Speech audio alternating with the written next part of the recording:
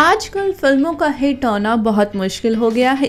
एक अच्छी फ़िल्म के लिए एक अच्छी स्क्रिप्ट का होना और एक अच्छी स्टार कास्ट का होना ज़रूरी होता है। और आज हम बात करेंगे ऐसे ही कुछ फ़िल्मों के बारे में जिसमें स्टार ने अपनी एक्टिंग के साथ साथ अपनी रैपिंग का भी हुनर दिखाया है। रणवीर सिंह की फ़िल्म गली बॉय ने रणवीर एक रैपर के रोल में नज़र आए थे और फ़िल्म के ज़्यादातर रैप सॉन्ग खुद रणवीर ने ही गाए हैं। लेकिन क्या आप जानते हैं कि रणवीर से पहले भी कई बॉलीवुड एक्टर्स अपनी फ़िल्मों में रैप कर चुके हैं।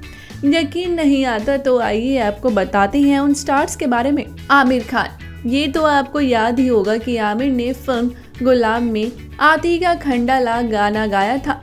आती का खंडाला। ये गाना रिलीज़ होते ही सुपर हिट हो गया था। लेकिन इसके अलावा आमिर ने फ़िल्म दंगल में धाकड़ गाने में रैप किया था। चारों खाने कर देगी।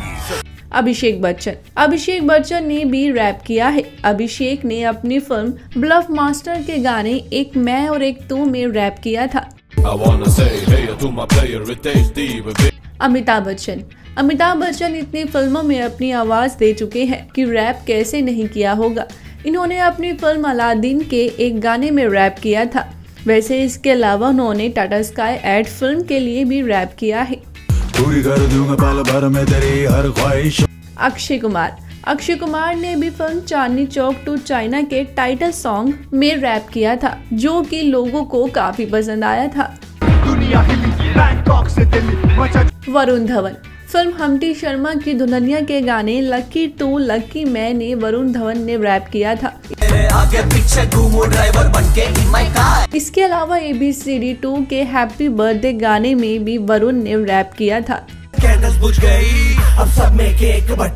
वेल तो ये है वो स्टार जो फ़िल्म में एक्टिंग के साथ साथ अपनी रैपिंग का भी हुनर दिखा चुके हैं। इस वीडियो में इतना ही मैं योगिता शर्मा। अगर आप ये वीडियो फेसबुक पर देख रहे हैं तो हमारे पेज को लाइक कीजिए। अगर ये वीडियो आप यूट्यूब पर देख रहे हैं तो हमारे चैनल को सब्सक्राइब करना ना भूलिए।